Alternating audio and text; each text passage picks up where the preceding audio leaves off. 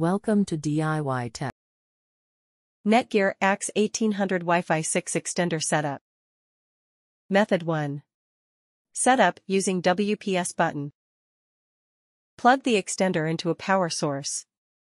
If you're using a desktop extender, use the power cable that came in the box to plug the unit into an outlet. If you have a wall extender, plug it directly into the wall outlet. If the power LED does not turn on, press the power on off button to turn the extender on. Press the WPS button on your Netgear extender. Press the WPS button on your wireless router. Once the extender and the router make the WPS connection, the extender's WPS LED light will turn solid green. Place the extender halfway between the router and the area with poor Wi-Fi.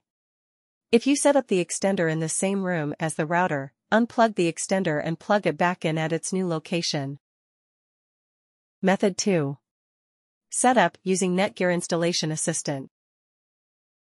Plug the extender into a power source.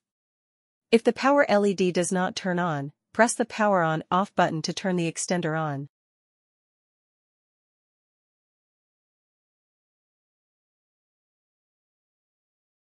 Disconnect the computer from your existing Wi-Fi network and connect to the one called Netgear underscore ext. Navigate to https colon slash slash www.mywifi.ext.net on your computer. Select your wireless network and click Next.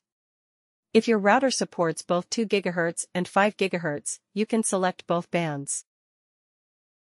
Enter your wireless network password and click Next.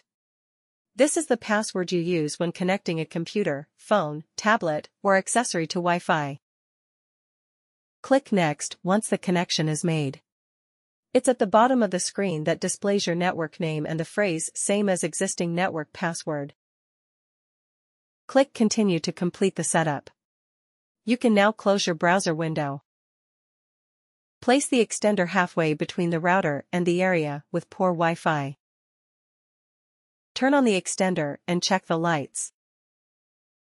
Connect your computer, phone, tablet, or accessory to the extender.